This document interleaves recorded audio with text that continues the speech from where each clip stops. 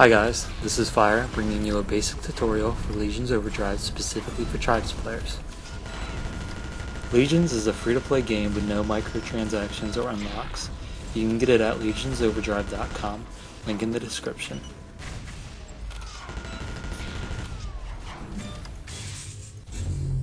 The game is unique from Tribes Ascend with faster-paced gameplay, more freedom of movement, an actual balance between splash-based and chain weapons which leads to dynamic engaging duels. This game philosophy of easy to gain speed, hard to maintain it, which results in rewarding chasing and capping. User-generated content such as mods and maps from the map maker, and a demo recording system, much of which the gameplay in this video is taken from.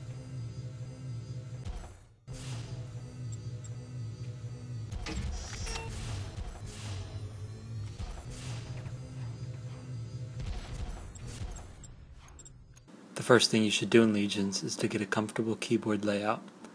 Legion's keybinds are very different from Tribes Ascend.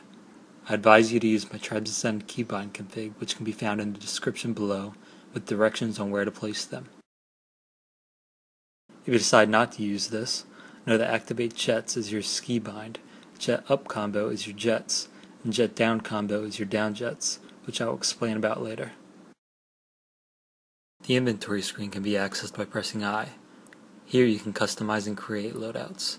You must select a loadout and respawn to switch. Outrider is the light armor class, which carries two weapons. Raider is the medium class, which carries three. And Sentinel is the heavy class, which also carries three weapons.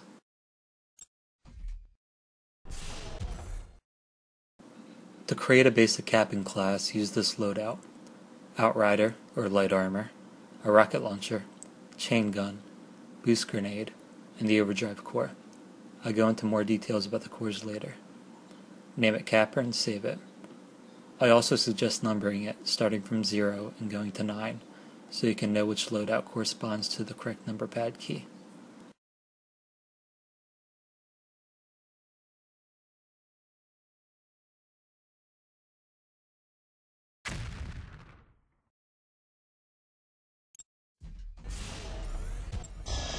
The rocket launcher and chain gun are the Universal Legion's weapons due to their utility and damage potential. It's generally optimal to use both of them in combination. The rocket launcher behaves like a low inheritance weapon, but receives a forward boost in speed according to your velocity and the direction you're facing. This makes it feel consistent at all speeds and a deadly chasing tool. The chain gun has a heat mechanic that increases its spread over time and causes it to overheat if you use it too long.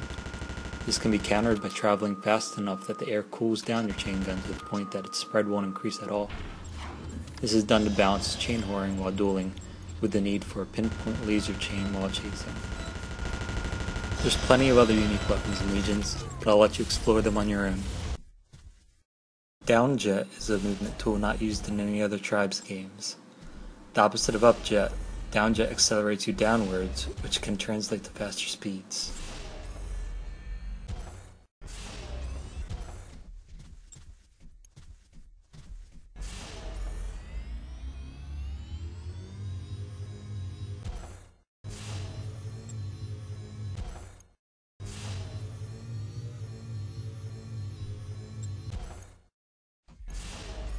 There are several other tools used to gain speed in legions. The first is a simple rocket jump.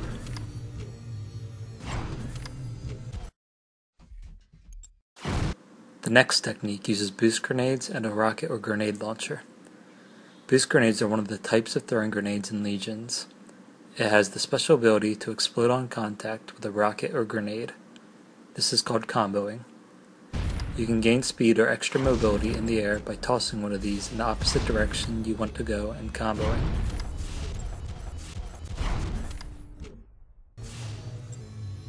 Here's combo boosting done with quicker motions.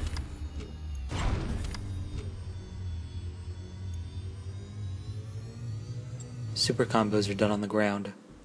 They combine rocket jumping and combo boosting to gain immense impulse. They come at a high cost and can only be done with the rocket launcher. The last technique is called plasma boosting and it's done with the plasma gun. You simply aim behind you and shoot at your feet.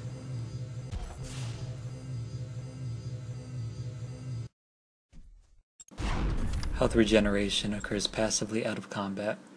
You must be on the ground and you can't be skiing.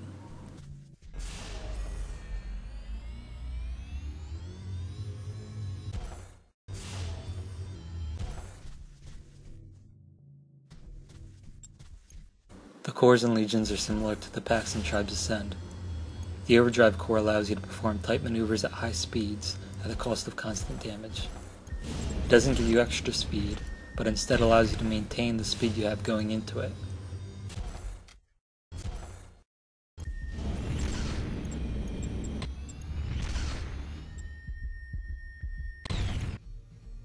The Overdrive core also creates a wake around you that knocks back nearby players. In order to go into overdrive, you have to be traveling at 88 meters per second or greater. You'll see a velocity warning sign if you're going over that speed. You also have to be touching the ground or another surface with your feet. Overdrive lasts for a minimum duration of 2 seconds. Let go of your ski key to exit. The warp core will send you back in time by 3 seconds to your previous velocity, position, and rotation at the cost of health. It also creates a scar in space which players can enter to follow you. You cannot activate the warp core while holding the flag, but instead can activate it right before you hit the flag since there's a very short activating time. You yourself can head back through your own warp scar if you make it there in time before it closes.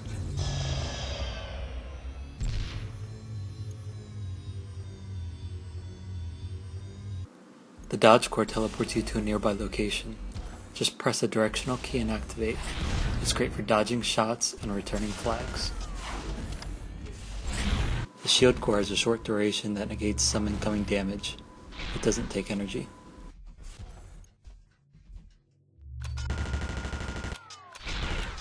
The boost core boosts you in the way you're heading, not the way you're facing.